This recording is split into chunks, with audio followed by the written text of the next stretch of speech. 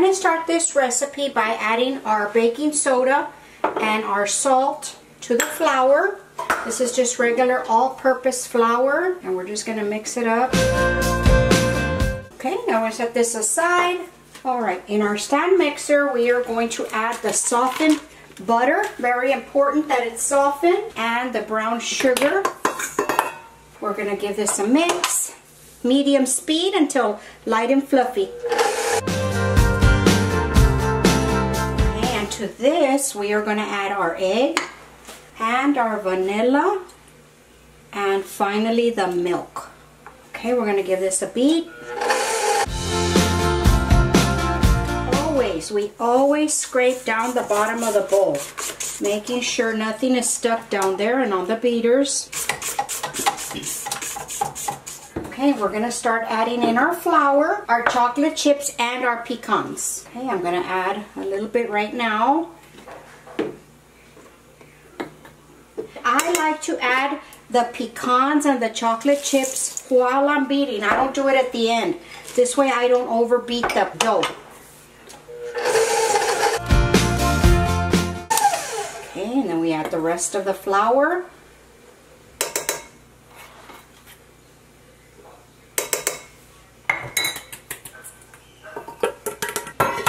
Rest of the nuts and the chocolate chips.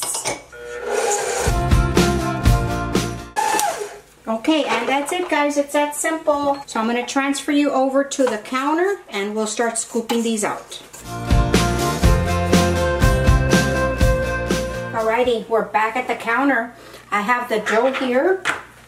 I just put it in a smaller bowl so y'all could see what I'm doing. I'm gonna show you the scoops that I have. And I'll link these down below for you guys in the description box. Now you can use whatever size scoop you want, okay? The only difference is the cooking time. When I give a gift like I'm gonna do with these cookie jars, I like to use the very small one that I have, okay? I don't know how many ounces it is, but I'll, I'll link it for you below and I'll let you know in the description box. But as you can see, that's the size comparison to this one. These would just make giant cookies, which is fine as well. But since I'm going to put them in this jar, I'm going to use the small ones. You can also use this uh, medium one as well. They come out pretty too, but I like to use a tiny one. So we're going to go with that one. Okay, and what I do first is I scoop out all the cookies. Every single one of them. And I lay them on this tray and I pop them in the freezer for a while. This is the, the way that I have found that the cookies come out the best. Uh, that they maintain their shape and they won't spread. So I just fill it up scoop it out, pop it onto the, the sheet, and just keep going until I'm done.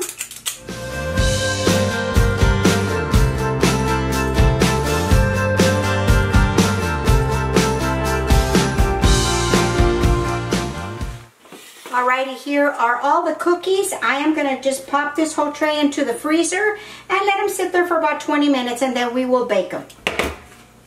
Alrighty guys, I took these out of the freezer. As you can see, they're rock hard now. And they just set up better when you go to cook them. They don't spread. So we're to bake these. We're to give them a little, a little space in between, about an inch and a half or so.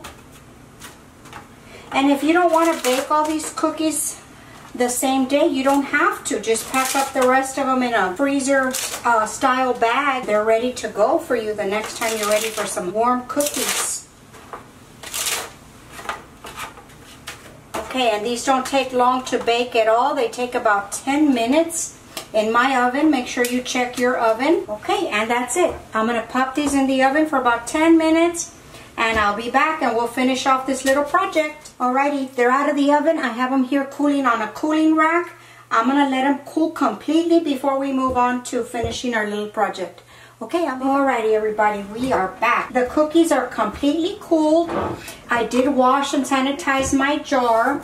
I'm to take this off because I have a little detail that I'm to add to this.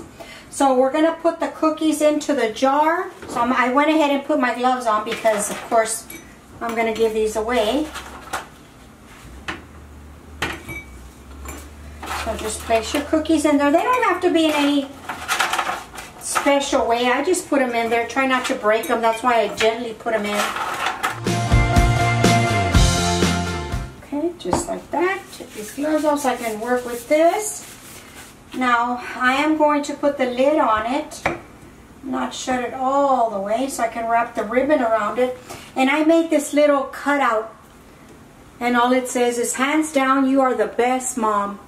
And I put a little hand with some nails. I thought that was cute. So I'm going to put this on the ribbon. And then I'll tie it around the jar. And there you go. What a great Mother's Day gift. Very easy. Just one recipe for chocolate chip cookies or you can make sugar cookies. Whatever you like to make. You know, I'm sure mom's going to enjoy it for those of you who have your moms. Look at that, how cute that is. Okay, everybody, so this is my idea for a simple Mother's Day gift. Remember, the best thing that we can give our mothers is our patience, our love, and our time. So I hope you enjoyed the video. Give us a thumbs up if you did. Subscribe to the channel if you're new and turn on that notification bell and you will be notified every time I upload a video.